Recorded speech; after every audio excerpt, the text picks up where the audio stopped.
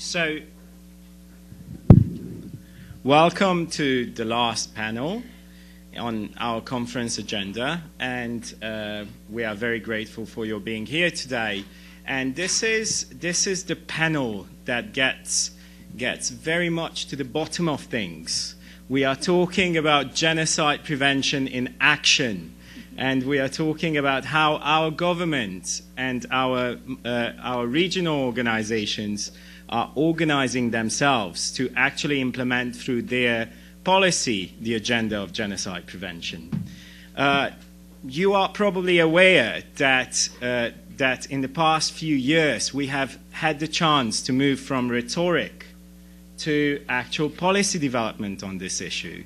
This is an immense change. Our governments for centuries have been declaring that mass killing is bad, but haven't really done anything else than wars to deal with the reality of them.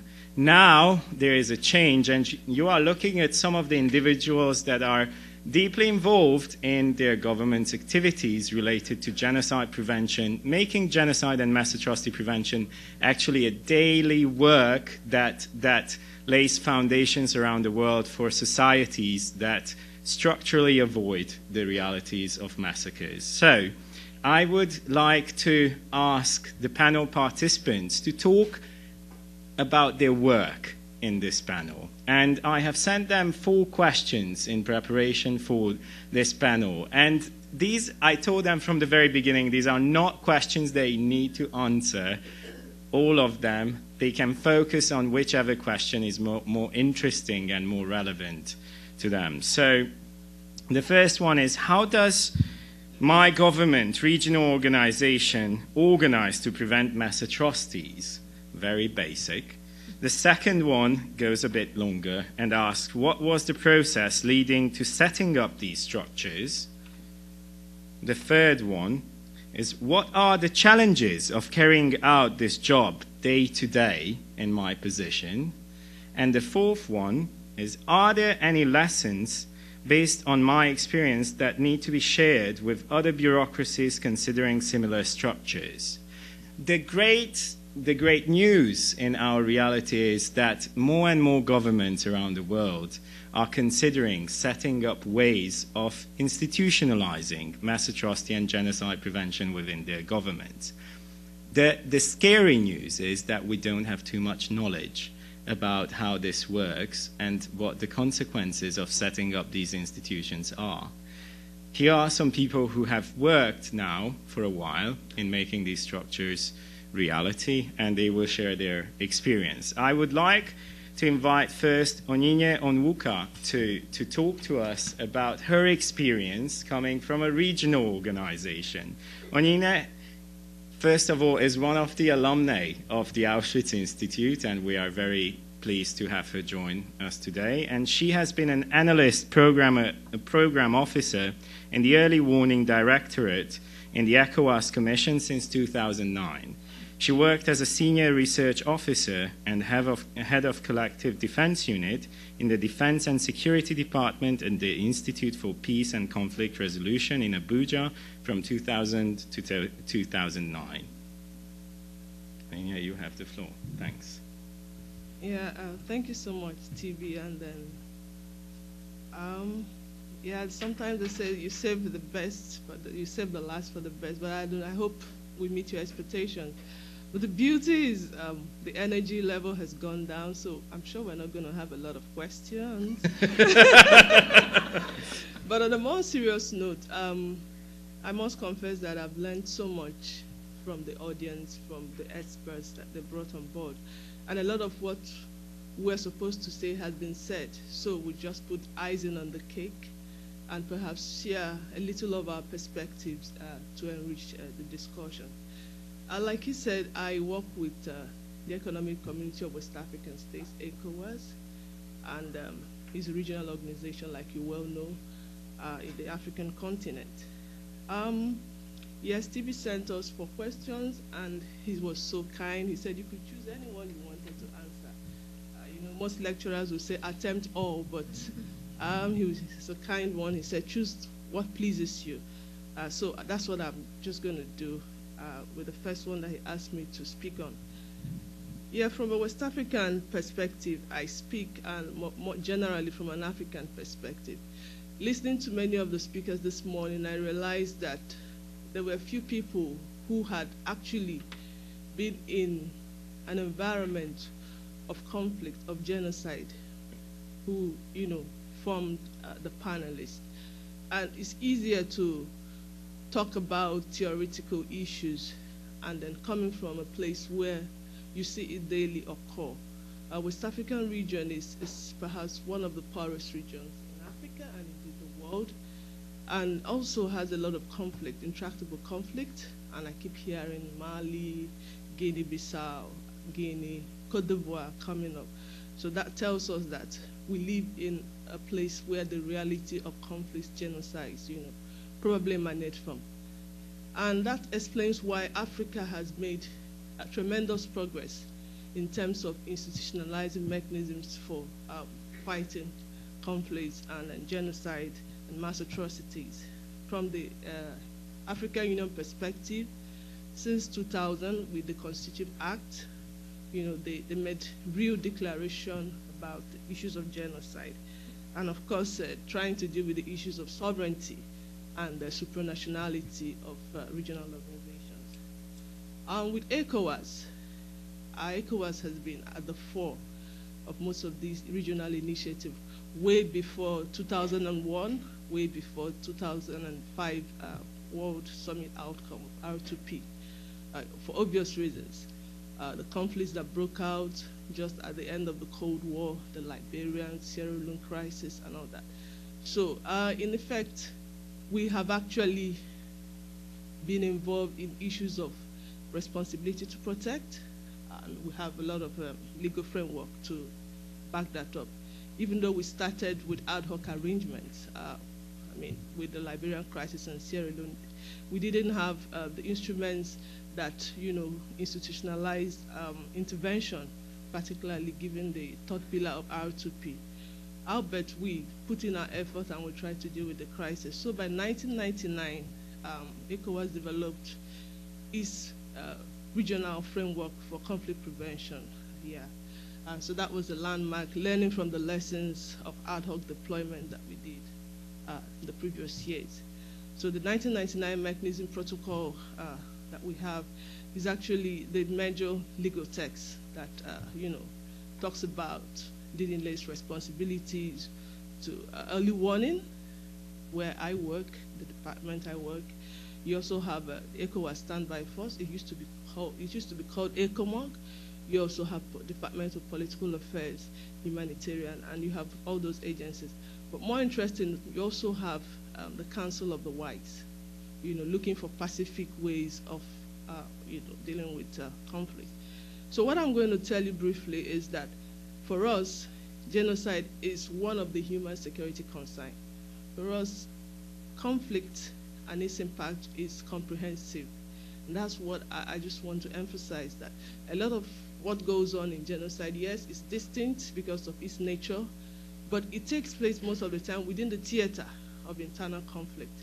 And like uh, um, Francis said in the morning, identity-related conflict and related to the issues of struggle for resources, competition for space, and then people begin to manipulate issues of identity it's just uh, people don't just become, uh, you know, they just don't target others. There has to be something that is under contest. And from where we come from, there's a lot of pressure on resources that is scarce, and also a lot of greed of a few, you know, who, who, who just want to use identity to deprive. Um, Tibi, uh, in a nutshell, this is what we do. But as the uh, panel goes on, I'll talk more about early warning and high signs of genocide prevention. Thank you, Nina. We will we will move on and and move. Of course, we will talk a lot more about the ECOWAS system, and and you have the freedom to to ask Onyinye a lot more about what how does this translate into her daily work in the question section. But now we are going to move to to the national models of organizing to, uh, for preventing mass atrocity and genocide. And I would like to invite first Victoria Holt to speak about the United States situation. Uh, Victoria has joined the Bureau of International Organization Affairs as Deputy Assistant Secretary of State in August 2009. Uh, she is responsible for the international, international security portfolio, overseeing offices that address UN political affairs and the Security Council, peace operations, sanctions and counterterrorism, and regional organizations and related policy issues. Uh, I also have to mention that before uh, working in the State Department, Tori worked uh, for the Stimson Center, and for a while we were very concerned uh, about losing to, to government the, the ener- energetic voice that she has always been in terms of mass atrocity and genocide prevention policy and issues. But we are very happy for the work she's doing, and we'd like to hear her share that with us now. Well, thank you, Tibi, and thank you to Sherry and everybody who organized this excellent conference. Um, I'm very pleased that my colleague Beth and I both are able to be here today. So uh, we'll divide the duties a bit. Uh, I will speak a little bit more about how we got to having our government focus on atrocity prevention and our first efforts at it. And Beth, I think, will pick up and, and talk about some of the details. But and, and Tibi, I didn't get your four questions, so I'm just going to talk about a few things. Um, and I want to start with why it matters, because I think this is still something that is in this room taken for granted. But anytime you ask and see a government start to engage in a new project, it's going to compete for space with other projects. And it doesn't matter how good a cause it is, somebody else is not going to get the same meeting at the same time with that senior official.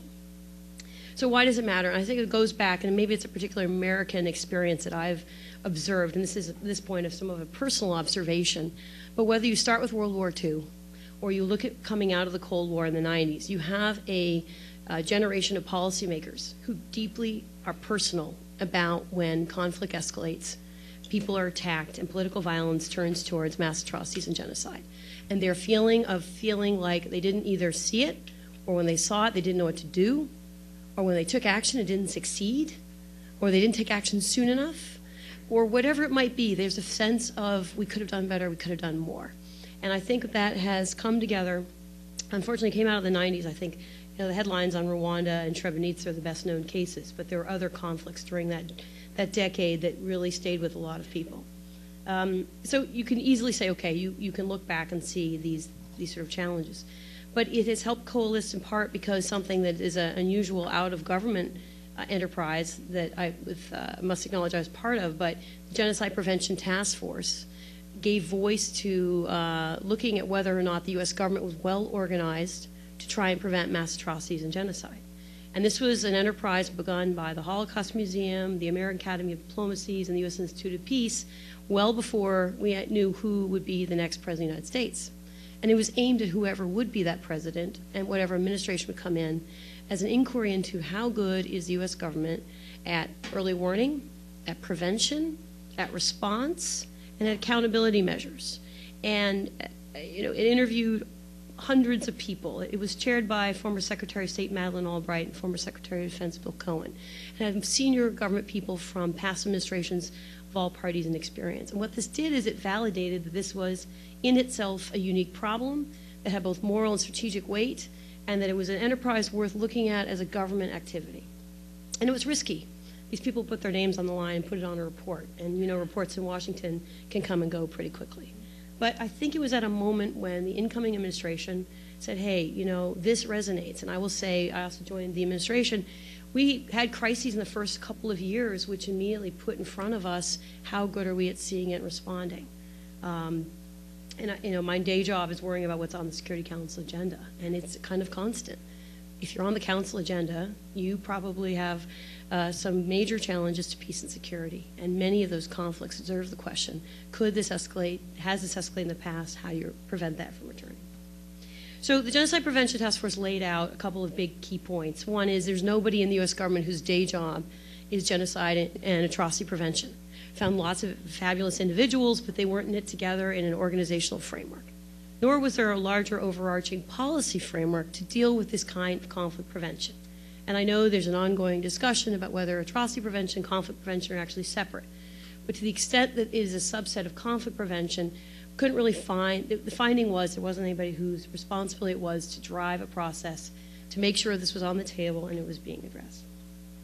So the Obama administration came in, and even before the Atrocity Prevention Board and the effort to do atrocity prevention work was announced, you could see early signs. If you looked at the National Security Strategy, it's a document that a U.S. new administration usually puts out within its first year. It had within it a whole paragraph on the prevention of genocide mass atrocities. And it's just a paragraph. And when I waved it around at some of the Foreign Service officers who worked for me, I forget which crisis was driving us crazy. I said, We have to do something. They quite candidly said, Well, we'll see, we'll believe it when we see it. And I, I bring this up because it's in the challenges category. Not that Foreign Service officers want atrocities, but it was another new idea. And how much legs and how much uh, uh, progress would this idea make? And I think that is an ongoing question. It's in, your, it's in our challenges list. But then about a year later, we also saw, following the national security strategy, the Pentagon's quadrennial defense review. It has language in it about prevention of genocide and mass atrocities. So does the State Department's QDDR, the Quadrennial Defense, sorry, Development uh, and Diplomacy Review. I, I turn the D's around. You have to check on, online what it's actually called. Um, and then soon after the announcement that we would have a presidential study directive. Now, by this time, this sounds like a lot of bureaucratic blah, blah, blah. But what it means is that a study directive, this was number 10. That means there aren't a lot of them. Unbeknownst to us who are about to get the directive, we were being, we were being asked to spend 100 days doing research writing and writing a report back to the White House, and they were in a hard deadline. And this, this announcement was that the president had decided um, that it is a core national security interest and a core moral responsibility of the United States to prevent mass atrocities and genocide. That's a pretty major headline. So it basically tasked the rest, there's 13 departments of and agencies of our U.S. government were asked to participate in this It started with weekly meetings. And I guess what I'm getting to with this is this is hard work. This is bureaucratic hard work. This is like, you know, put down the immediate thing in the, your, your BlackBerry, and you're, you're being tasked to write papers on everything from early warning, for accountability measures, for long-term uh, conflict prevention, lessons learned, doctrinal guidance, and most of this is not something the State Department was used to writing up let alone Homeland Security, Department of Defense, the Agency for International Development, Treasury Department, Justice Department, intelligence communities, etc. Nonetheless, fast forward 100 days and we finished this report. And we basically self recommended things that we could do to bring attention to atrocity prevention. So perhaps I will just give some observations on what we are trying to do, why we're trying to do it, and then and some challenges going forward. I think in the State Department context, we have very much the framework of uh, how do we work with the community of analysts and intelligence to see things earlier? What are the common signs and what are the flashpoints that we need to look out for in any of the countries around the world that might face conflict? And I must say that um, in our case, the intelligence community has done a good job working with outside open sources as well as um, their own analysis of what are the indicators that might lead us to narrow that case down. Because if you go to a regional bureau and you say, we have to look at every single country you observe, it's impossible. You can't look at every country in the world. But these indicators have helped us narrow down a subset of countries that are at greatest risk. We had a little internal question about what are we talking about? What are mass atrocities? What are genocide? Does this compete with responsibly protect? What about protection of civilians? And I think we've tried to keep moving past that and say, and, and my colleague, the lawyer, can define this better. Um, it's about preventing purposeful violence against individuals, usually for political aim mass atrocity sort of captures the way we've thought about this. It does not mean to compete with either responsibly protect, which we support, nor protection of civilians, which we also support. So internally, we had to sell the idea to some colleagues. And I will just tell you personally, I uh, went and talked to some of the regional bureaus, which are from the powerhouse of diplomacy. And to my surprise, in meeting with senior Foreign Service officers, most of them about halfway through the conversation, which was me telling them this initiative was underway, and we are kind of curious about their views. They said, you know, when I was in Blip, this happened. And they started telling me a story.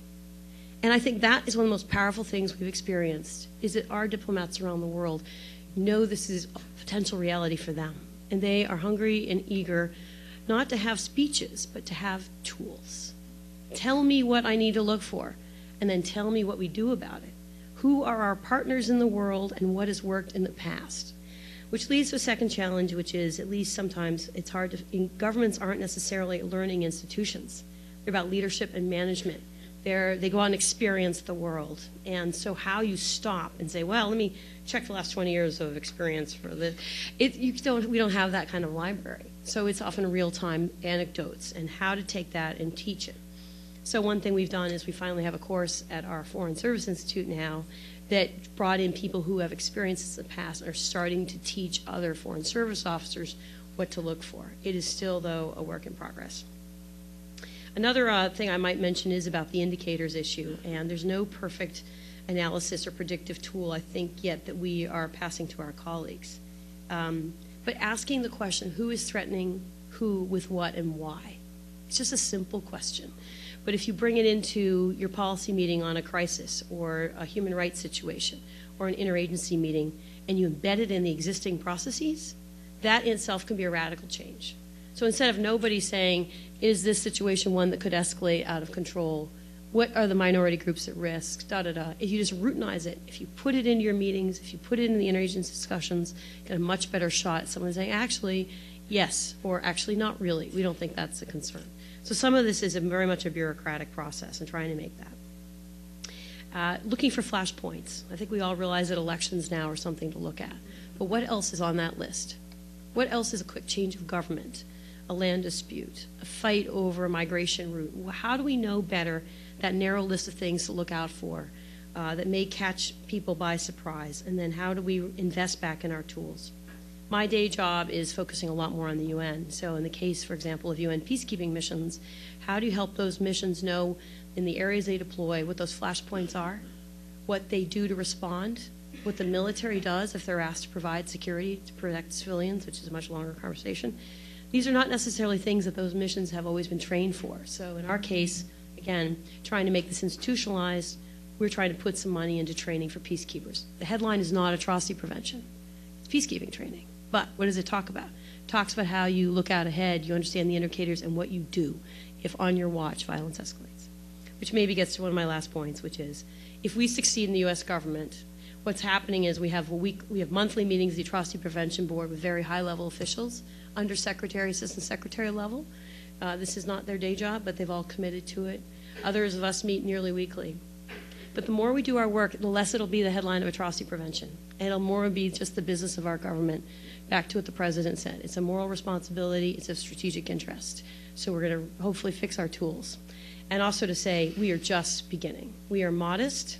We're not proud of this in the sense we've achieved it. We've just begun the conversation with ourselves.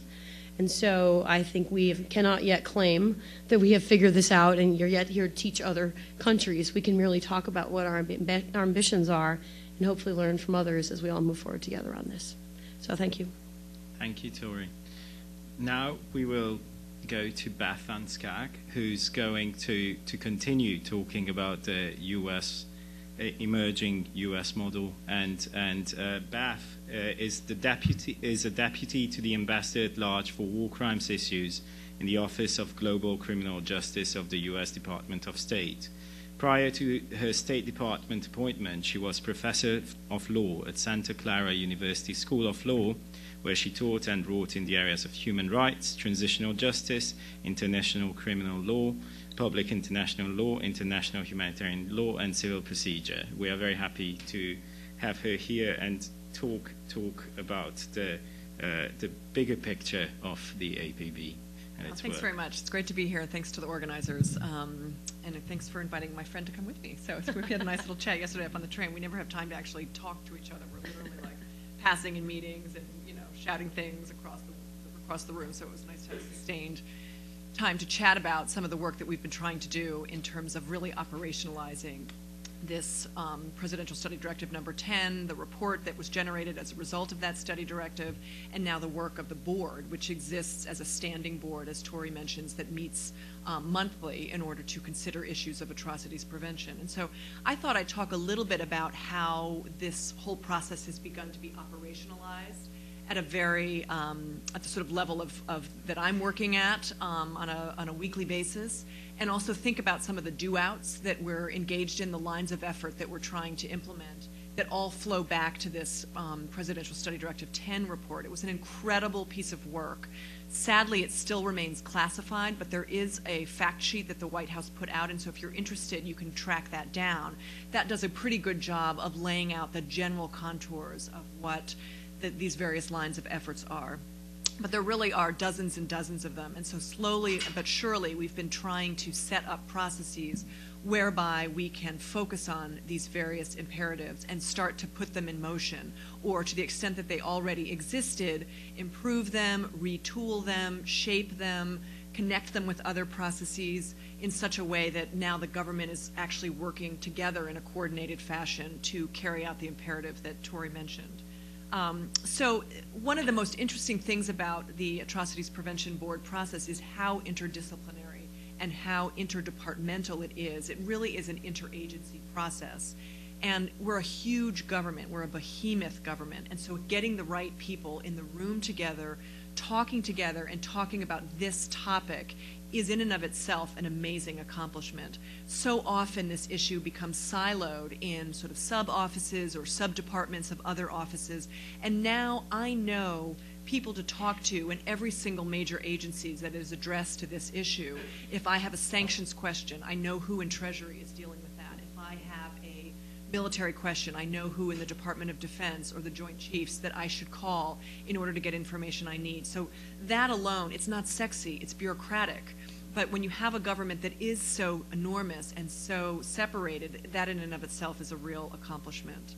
Um, a big chunk of our work really comes down to um, the intelligence community and the amazing work they have been doing in their collection efforts to focus on, as Tori was saying, these risk factors that are internal to a particular society and these trigger events that may happen episodically, like an election or even a natu natural disaster that. And so the intelligence community is trying to collect that information. They will be producing soon an estimate of of mass atrocity around the world that will help to guide our future priorities going forward. They're also helping to think about things like enablers. You know, how do other entities within a society, business interests, for example, um, enable atrocities to happen so that we can look for areas where we can exert leverage in order to prevent um, atrocities from escalating or, or violence from escalating into a situation of atrocities. We're hoping that this more, this improved and this more focused um, collection and analysis will help us, the policymakers, and our posts and embassies that are located in these at-risk countries respond more quickly, respond earlier, so that we can undertake what may be ultimately lower cost and less invasive measures, rather than waiting until something is a full-scale crisis situation and then being in a situation where we're trying to mobilize sort of boots on the ground, as we heard earlier today. The Department of Treasury is um, working hard to think about how to better use their sanctions authority in order to address mass atrocity situations, in order to cut off funds, for example, to individuals or to groups and organizations that are fomenting violence um, in particular countries. They're helping to work with posts, embassies, non-governmental organizations, and others to basically outsource the collection of information, the kind of bioidentifiers that are necessary to engage in a good, airtight sanctions regime. This is hard to do. We often get calls from civil society that says, why haven't you sanctioned uh, the Interahamwe? Well, we need to know names, we need to know national identity numbers, we need to know bank accounts in order to be able to create a rigorous and robust sanctions regime. And so the Department of Treasury has been working to improve their ability to do that work they already have a series of country-specific and uh, topical, general um, sanctions regime dealing with counterterrorism, for example, proliferation of weapons, et cetera. And so we're exploring ways that these existing sanctions regimes can be utilized in a mass atrocity or a, a, prevention of atrocities context, and also thinking about what new authorities we may want to propose to the president to implement as part of his authority um, to do so. We're also trying to think about how to better coordinate with the EU and with the Security Council on the sanctions regimes that those entities generate so that we have sort of a seamless web that's synced up. We don't have gaps, we don't have loopholes, that we're coordinated in our ability to sanction individuals and organizations. Um, at the State Department, we have a huge um, effort to engage in multilateral, bilateral, and regional outreach to see what our other partners who care about atrocity prevention are doing and to try and bring more countries and organizations into the fold so that we can think about ways to be working together. And in that regard, I want to congratulate the Auschwitz Institute for this memorandum of understanding with the AU um, and also your work in Latin America, where Argentina is very much in the lead on this in terms of gathering a network that's continent wide around this imperative of preventing atrocities. We've also explored um, ways to increase the ability to surge specialists into crisis situations or at-risk situations. Um, this is something that USAID has done in the national natural disaster context, thinking about how to do something similar, a team that's multidisciplinary, a team that has the relevant regional and language abilities, a team that has good skills that can work together, analyzing hate speech, for example, dealing with violence against women or violence against children, um, getting those right teams together and finding ways in order to surge them into situations in which an embassy may feel overwhelmed or may not have a particular expertise. And in this regard, we've been working with the Justice Rapid Response in Geneva, which is a multilateral intergovernmental um, version of this, essentially. They conduct regular trainings and have created a roster of individuals that they're able to surge into these um, crisis situations. We're trying to do something similar, creating a roster that's government-wide, that has all the, in the database, sort of all the right boxes that are relevant to an atrocities prevention um, goal. We're also trying to improve the ability to do information gathering and collection, not necessarily through the intelligence community, but through our posts and our embassies abroad. And in this regard, we're looking at things like alert channels and tip lines, ways to make sure information gets to the right people. Um, we, as I said, we're a huge government, and so information flow is often a real challenge to, to still trying to manage to make sure that everyone that needs to understand the most current information has that information so that we can make a concerted policy response and act quickly. Um, sometimes it takes time for information to move, and so we're trying to improve and streamline that process. And finally, we have the issue of justice and accountability. My office has always been the home for these issues. It's the Office of Global Justice. And a number of the recommendations in the PSD 10 report relate to this area. And the theory is, as we discussed earlier today, Juan Mendez brought it up, that to the extent you can have robust responses and accountability, that will prevent a culture of impunity from setting in. We still don't know, it's speculative to the degree to which you know, criminal accountability leads directly to deterrence, but I think we can all accept at an intuitive level that a culture of impunity does enable violations to happen. And so to the extent that we can make responses more robust, justice-based responses more robust, that can contribute to at least eliminating that culture of impunity.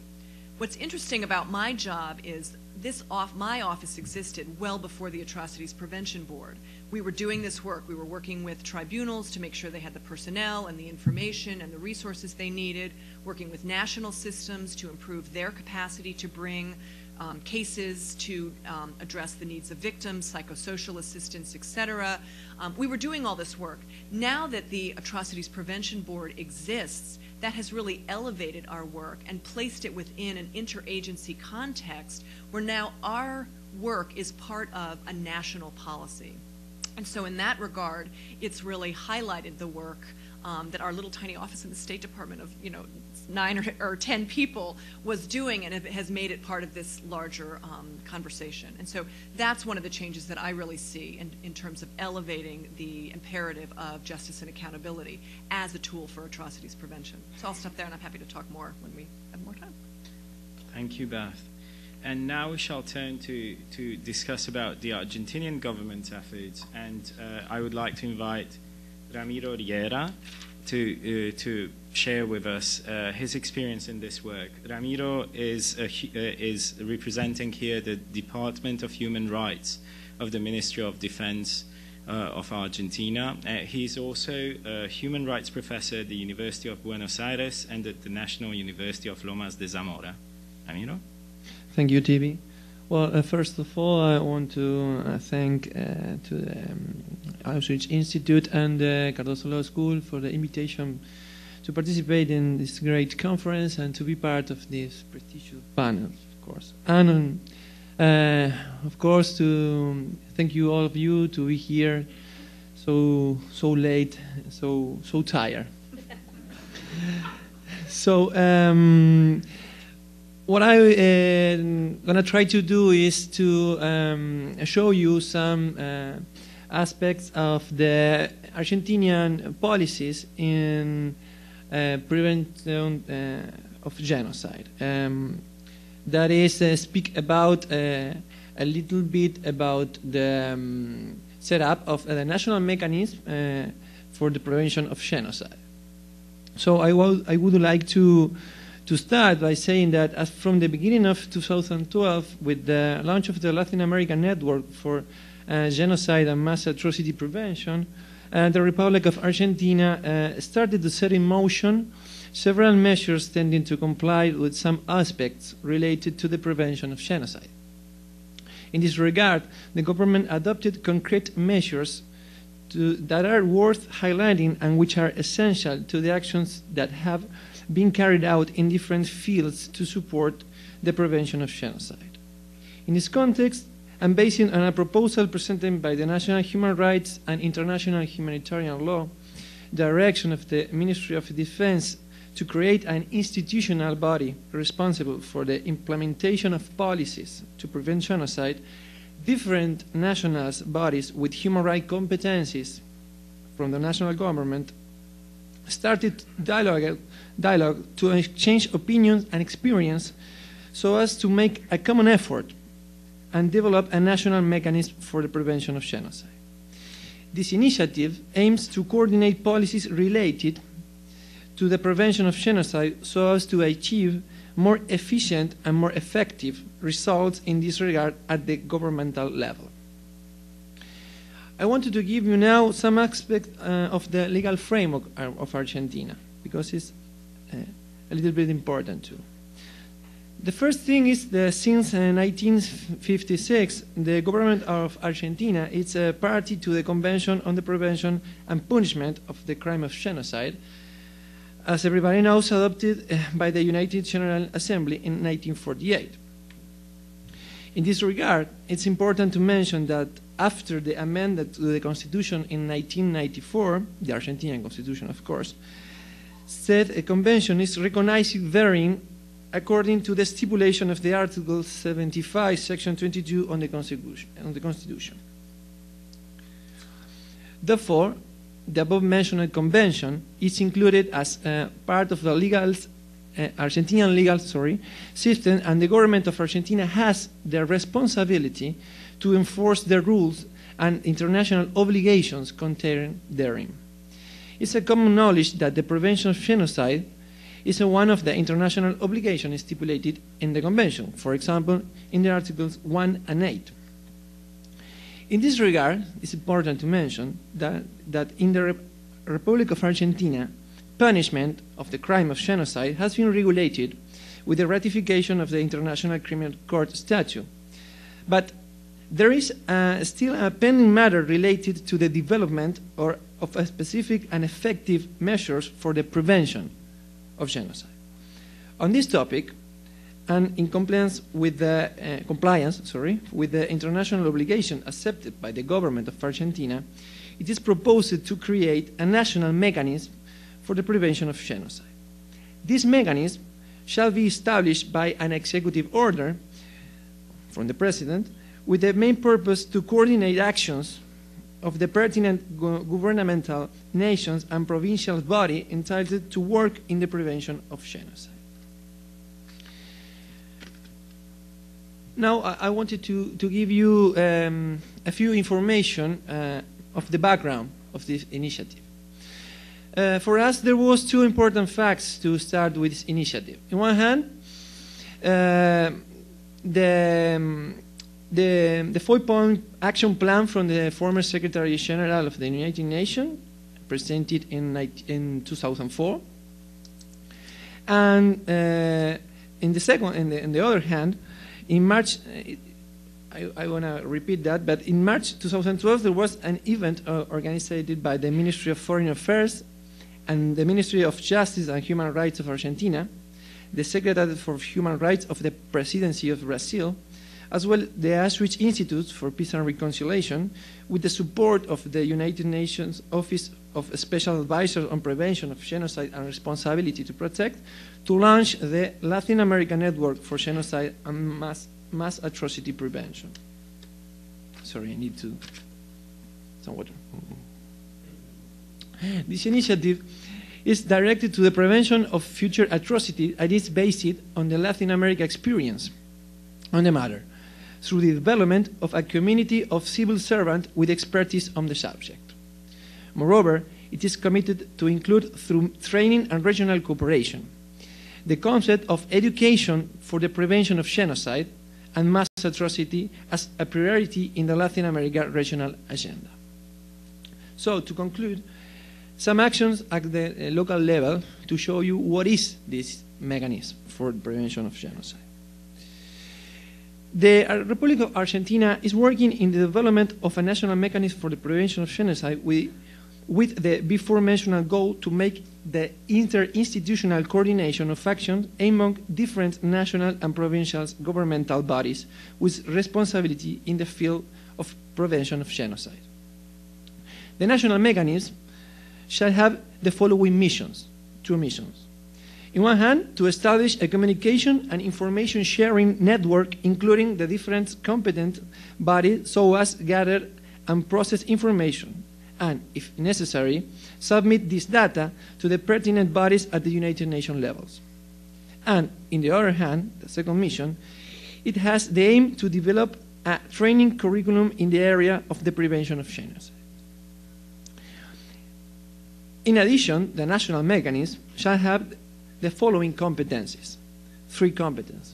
It's going to be the, from the national mechanism. First, to assess about potential threats and give early warning.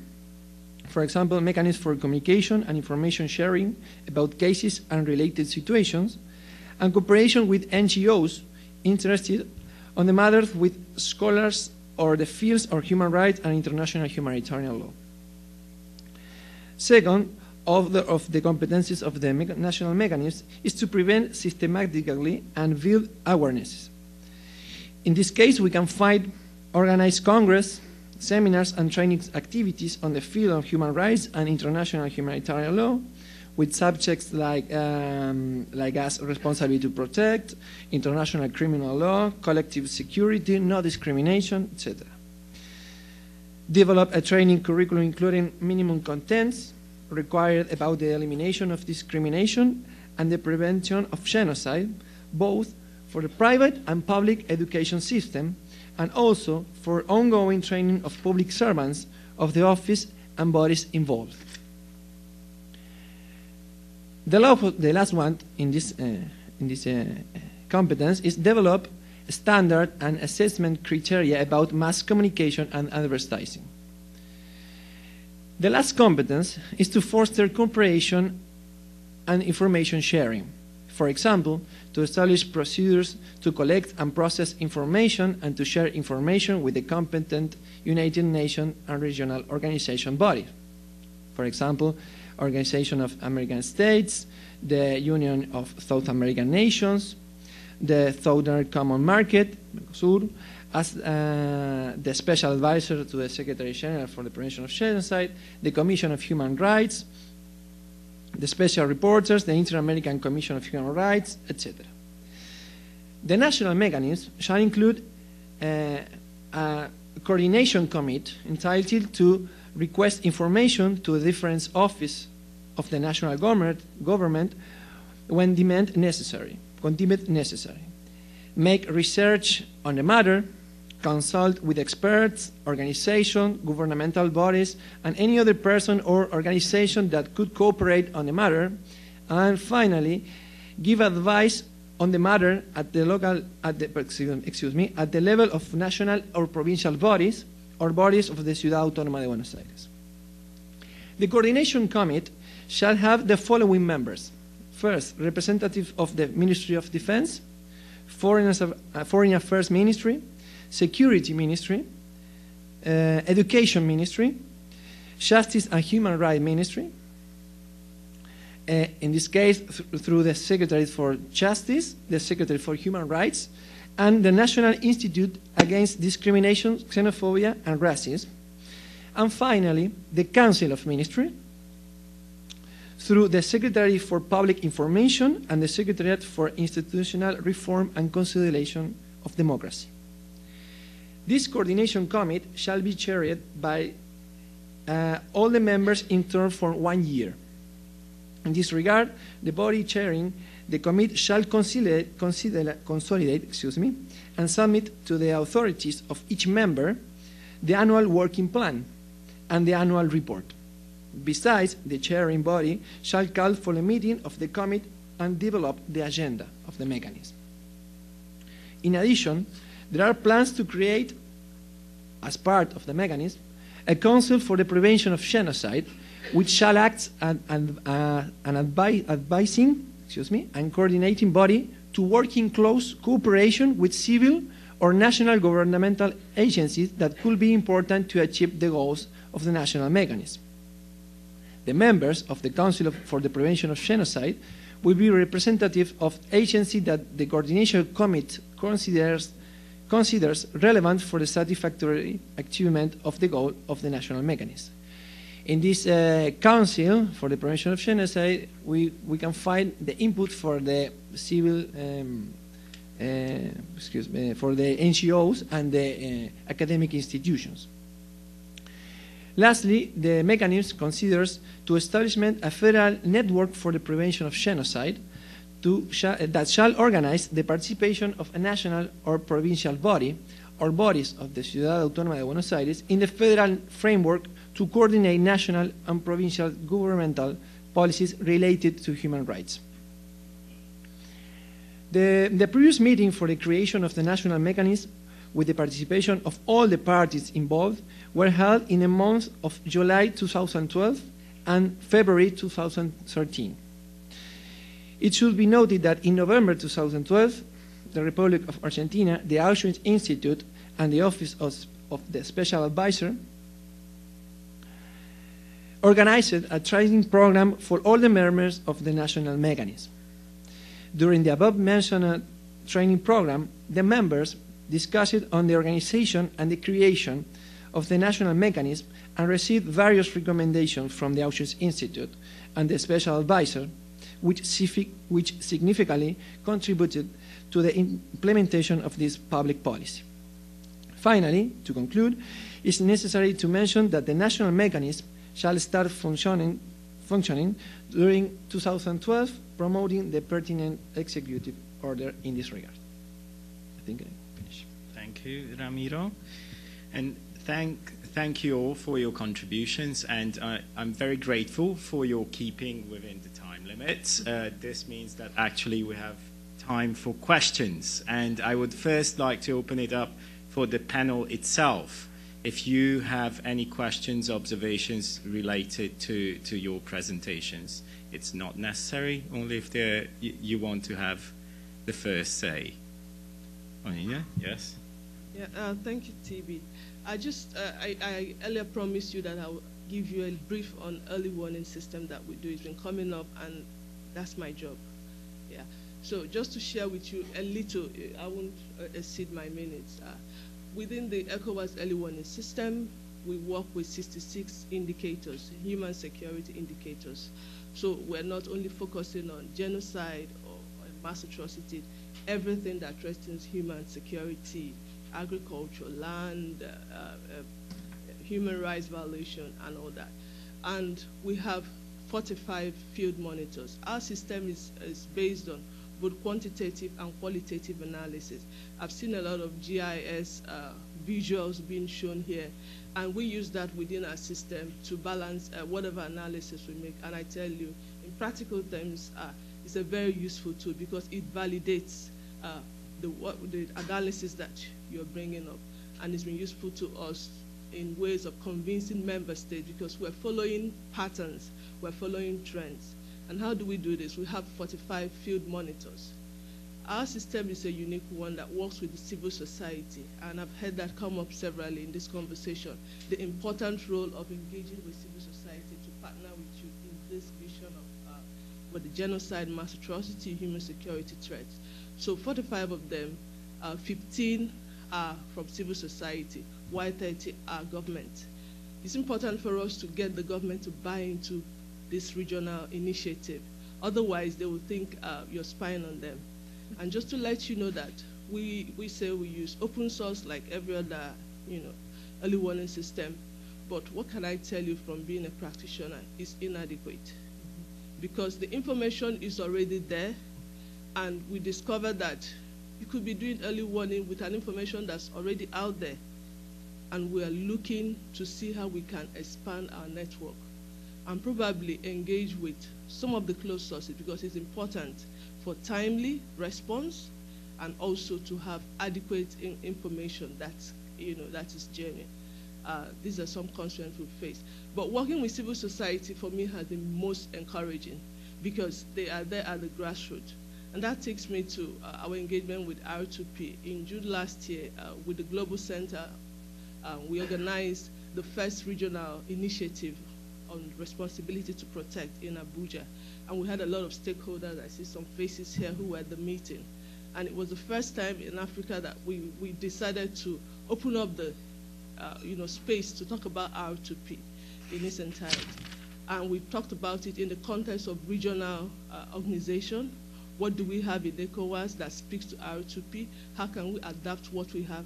And we also it was a, a, an intellectual criticism of R2P and the different areas you've talked about. Why are the emphasis only on, third, on the third pillar?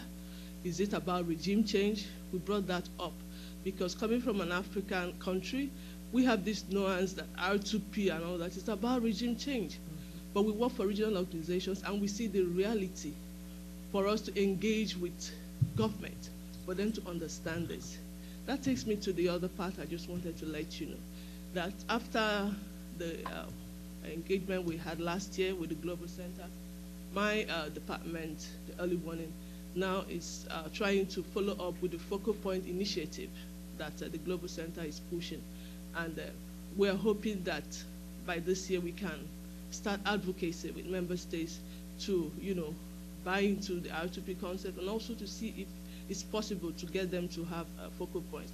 Ghana already has a, a, national focal point.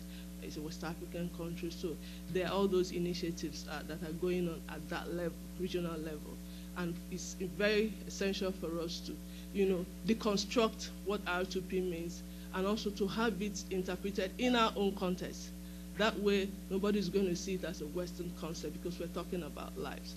And then finally, from my experience of early warning, I just understand that it's everybody's business.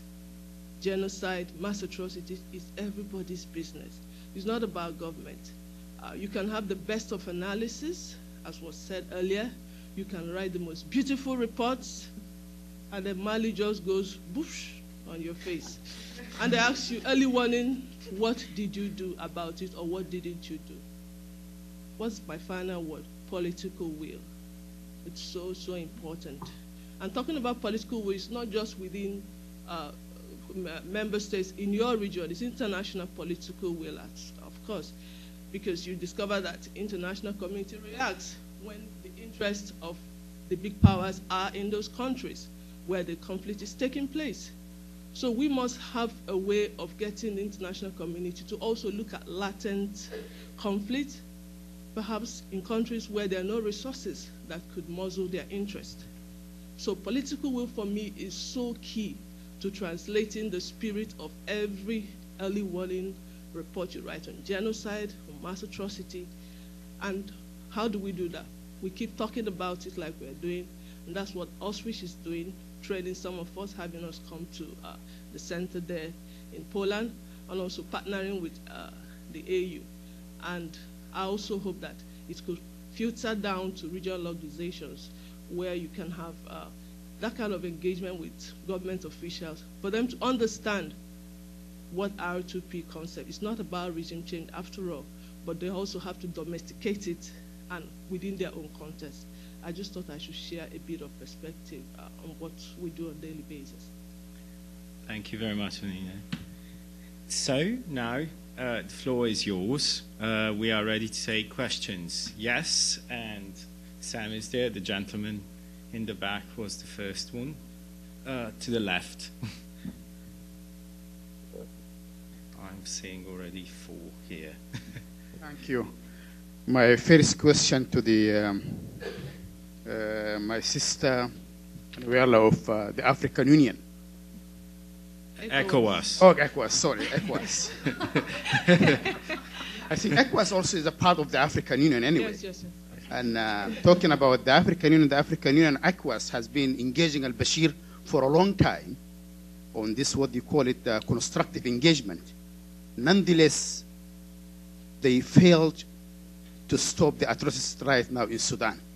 This constructive engagement has been going on for a long time. It's just become like appeasement to Bashir to continue his crimes.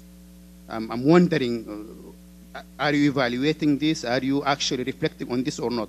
The other thing also, the African Union has a very modern and more advanced, actually document, even more advanced than the United Nations Charter itself, which is called Africa, African Union Constitutive Act. According to Article 4, that actually oblige the African Union to intervene in a situation like gross violation of human rights or something. Nonetheless, African Union actually absent, you know, on all this kind of uh, atrocities, including Darfur and the others. To the um, uh, our friends from United States, I think we appreciate that United States actually, um, you know, um, uh, advance its work on the issue of, uh, you know, preventing genocide and mass atrocity and all this kind of thing, and even Obama doctrine in terms of mass, all this kind of thing.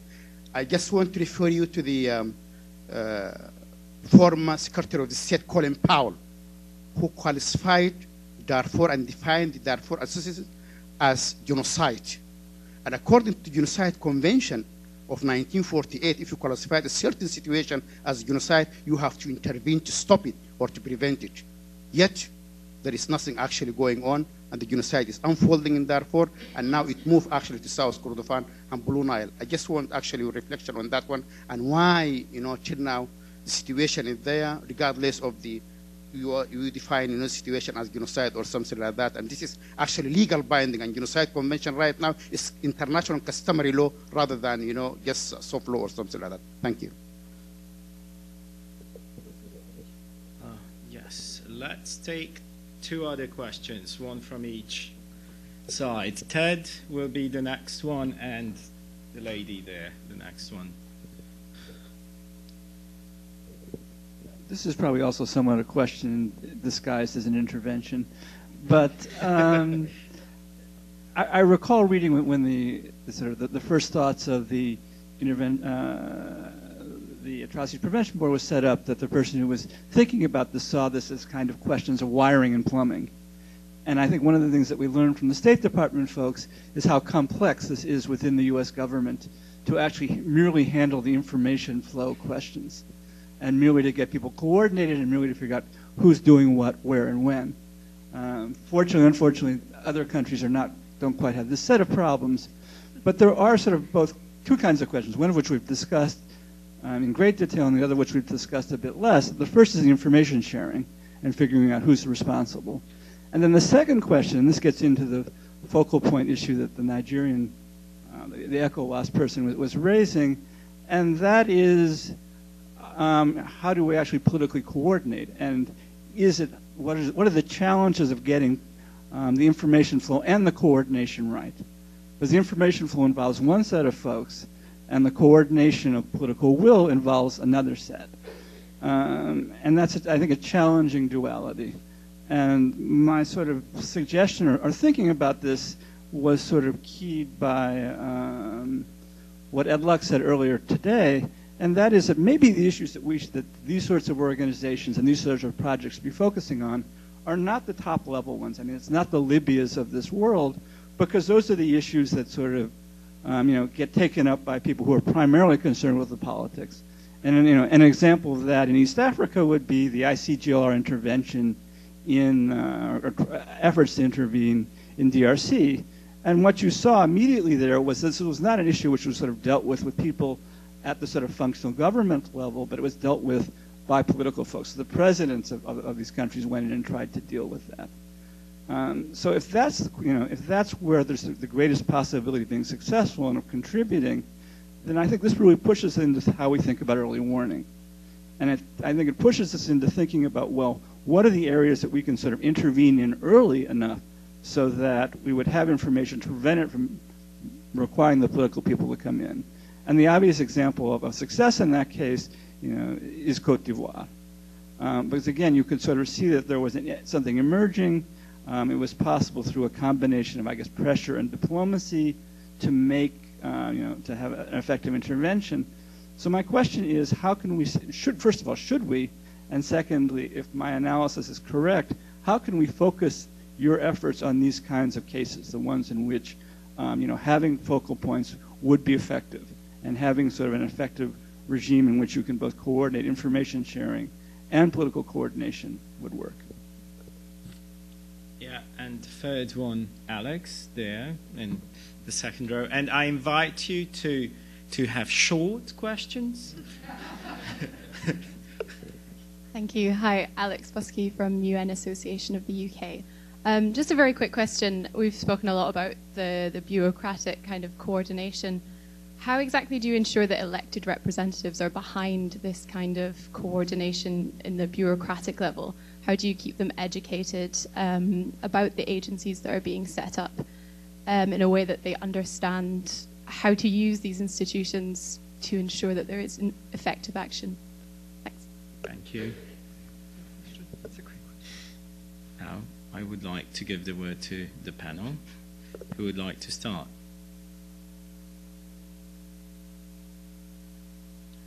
Yeah. Yeah, thank you so much. Um, the gentleman, yeah, ECOWAS and AU, I mean, we're members of AU. But I, I, will, I, will, I will speak as an ECOWAS official and then give you a, a little of what I know about AU. Uh, doing with al-Bashir. It's a bit complex, and you know, like I mentioned, uh, we, we, we need to deconstruct the meaning of all these international concepts. And you, you, you have the same, the same color of skin like I do. I can see that. And you know that a lot of us believe it's Western imposed. And a lot of African, I'll give you a practical example. Um, in 2010, uh, when President Tandja of Niger uh, wanted to, you know, turn the constitution for him to remain in power. I was in charge of Niger, and we kept writing reports, going with the UN, uh, you know, office, UN Office of West Africa, Said Djinnit, were there talking about Niger and all that. And apparently, he was the chair when they signed in the, the protocol that put a clause that you could not change a constitution six months to election. He was the chair of the commission, and he signed, ratified it. And when it got to his turn, he couldn't leave. He wanted to stay and manipulate the constitution, and eventually, you know what happened? Uh, we we managed to, you know, get him out or through a coup or whatever it was. But that tells you the, the, the notion. Now, nobody wants to be the first to say al-Bashir go because what if, what if it's me? What happens to me? It's a bit difficult. And this, this is a bit complex, you know. I, I don't know. A lot of people are receiving al-Bashir and talking about uh, ICC. And of course, there's a growing uh, debate to have an African Court of Justice to do trials. Why is everybody in, in Africa going to The Hague? Why is Gbagbo going to The Hague? Everybody's going to The Hague. So it's a debate that's ongoing, but impunity must stop. And that's why the debate needs to continue uh, and, and, get people to understand it. So I, I, don't have all the answers to it. Like I told you, it's all about, at the realm of politics, uh, morality is swallows up uh, political, uh, uh, political consideration swallows up morality. It's the other way around. And then the focal point initiative is, is perhaps what I'm more interested in uh, because it's positive, it's moving, it's evolving. Yeah. So we, we had the meeting and then of course, it's talking about how we could get uh, national leaders appoint, you know, very senior officers who would mainstream the issues of genocide prevention into uh, their national laws. Uh, this is uh, still a bit sketchy, and uh, at the regional organization where I come from, they're trying to work out. But it's an idea. Building on what we have in the early warning system, I told you we have focal points, and we were thinking is, is it to elevate the focal points to that level. But we needed to, you know, distill some of these issues to see, do you need to have, you know, particular senior, a, particular criteria that really looks at the issues of genocide, the issues of mass atrocity. So it's still at the discussion level, but I just flagged it because it was uh, a direct outcome of the, of the meeting we, we had with the Global Center for Responsibility to Protect. And uh, I can tell you that before the year runs out, we'll probably tidy up that uh, the, the Office of uh, uh, the UN Office of Prevention of Genocide are also interested in all sorts of initiatives. So uh, the idea is that there is engagement with the issue of R2P, unlike before, the issues of genocide. It was all subsumed under human security. But with the growing impunity and uh, mass atrocity that's going on within uh, our region, we think it's important to also deal with it as, uh, you know, as a separate issue, uh, while also considering it as a human security uh, challenge. So um, uh, the issue of focal point initiative for us is important to have people. If we had that kind of a person uh, in, in, Mali, we'd probably be getting information about what's going on there, the Tuaregs that are being attacked. It will feed in directly into the system. And like um, the, the, earlier you know, panel talked about, it's useful and uh, you can always act on an information because you can verify it and they're not giving you, you know, some one-sided information. So it's a, a, growing initiative, and we hope that it can crystallize into something much more uh, concrete. Uh, uh, by the way. Maybe I'll take um, uh, take a response to the gentleman in the back too about Sudan. When we started this initiative, uh, one of my colleagues quipped, "We don't get a magic wand." What it means is we will announce this sort of audacious ambition but there's no magic that comes with it. It's just hard work. And I would say on Sudan, actually, it's something that multiple administrations for the U.S. have worked hard on. You're absolutely right about Colin Powell. And you'll see today, I mean, we have a presidential envoy. There's support to three peacekeeping missions. A third of the UN peacekeeping budget goes to three missions in South Sudan, Darfur, and um, Abyei. And so there's no easy answer for that. But I think sustained diplomatic attention is partly um, what our ambition is, and that we we look at every possible way to solve a problem. So, I mean, that's not a long answer on Sudan, but just to say, I don't think that is a case that suffers from lack of attention. Um, but this gets to what um, uh, the gentleman up front was talking about political coordination and what cases you look at. And I think this gets to the political will question. I think absolutely we find that the goal is not just to revisit the headlines that are already capturing the attention of the international community and our senior leaders. As a matter of fact, it's what you were suggesting. Is let's look at every other case that might fall into this bandwidth, the ones we don't want to miss. Because the point of having attention to this issue is that you see the ones before they escalate and you take some action earlier. Because if you wait too long, the decisions only get harder. And this is core to political will. The more we can learn about what works, what we see, what works early, how you divert that path from an escalation of violence against civilians to just a normal political debate and conflict, that is more um, able to be grappled with. And so we, I will tell you, there's at least one country we looked at and we realized, oh, they have all the indicators, and yet we give no support whatsoever to measures of peace and security in this country. It was like all medical aid, which is also a good cause, but wasn't going to deal with the fundamental underlying issues. So because of that examination, we have now had sustained, very quiet, you'll never read about in the paper, diplomatic engagement, high level visits, looking at the international community's efforts on it. And that's the way it should be, I think. That a lot of this won't make headlines, but that we do that kind of day job, which gets to political will. And I think, just an example for us, I think um, we did a, a, couple of scenarios. I was in a few myself, and then we started running them more often for uh, people within our government, foreign service, but not only and it has an, uh, these fake newscasts of these, this fictional country, and there's like little newscast, and there's something on the Security Council's not meeting, and da da da. And you, you stop the film, and the two or three different groups of people have to figure out what they would do next. And we've run this a number of times, and it escalates, and it always ends up in genocide. So no matter what they do, it's terrible. Um, but people are cautious even in these fictional environments where there's no cost for recommending to your boss some big project, they're like, uh, could we do a speech or should we ask for a meeting or and so what we've realized is sometimes it's just teaching people to be a little forward leaning and to know the own tools of our own government. It's like what do you do? And that can be as simple as the day that i got an email. Um, a woman forwarded to me. She also worked in the state department from a friend and it was from a gmail address and it was a picture of a place where uh, basically um, uh, there had been violence and this email lands in my inbox. And what do I do with it? Who do I send it to? Was this an email of a picture of localized violence last week or three years ago? Who validates it?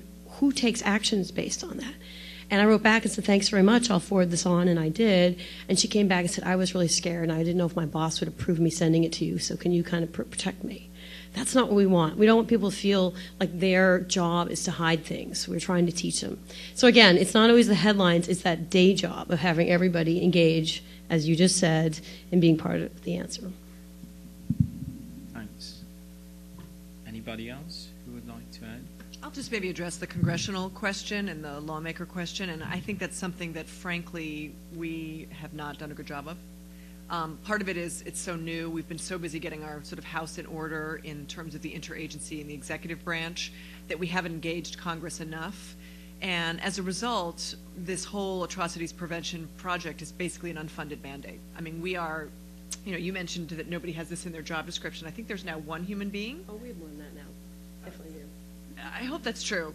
I, I can think of one human being that in his job in his job title is prevention of mass atrocities. There's plenty of people who do it a lot, but they do, still many of them still do have day jobs or other pieces of their work. It's not a full-time staff. There isn't a staff that staffs the, the atrocity prevention board. It's a lot of us who are pulled in from different directions. And so, and it's hard for us to raise money for ourselves, right? There's a whole appropriations project process. It's months and months and months and years in advance. And so I think there is a sense of doing better outreach, not only to congressmen and, and women, but also civil society, NGOs, and to build a national constituency around atrocities prevention so that people care about this. They ask about it at political meetings with their representatives. They call their congresspeople when they see on the news that something awful has happened, that it, it is part of our national consciousness. And I think that's something that conferences like this are terrific for, and we all should be doing more of that at our local level and whatever church groups, you know, educational groups that we have, giving talks about this work, um, spreading the word, getting people interested in this work. Student groups, you know, the, the Save Darfur movement was incredible. Invisible Children, you know, the fact that my 13-year-old knows who Joseph Kony is is a miracle. Um, you know, it, it, it's it's that kind of real grassroots work that is the way that we'll create a national consciousness around this. Well, thank you very much for your answers. We are actually running out of time, but I would like to just just outline the fact that while in the times of the movement calling for governments to organize for mass atrocity and genocide prevention, we were very much entertaining the magic wand scenario of governments, uh, once they organize, being able to stop everything that moves around the world. Uh, unfortunately, we are finding out that it's not that easy. What we see at the Auschwitz Institute as very important is to create a space for governments to be reflective about this process. Even though new, it is necessary to think about it, and there are lots of lessons to be learned from the very beginning. And there's there are lots of chances to assist processes that are developing in other governmental structures that are uh, trying to reinvent the wheel. So, uh, thank you very much to all our panelists, and thank you very much to you, our audience. And uh, I would give now the word to Sherry for three minutes.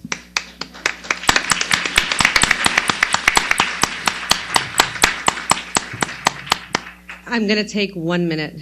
Um, I just want to say thank you all very, very much, um, especially all of you who have been with us from the beginning of today. It's been a really long and interesting and productive day. I want to thank the panel as well um, for a really interesting engagement. I was going to sum up, and I'm not going to because it's late. I'm going to spare you that.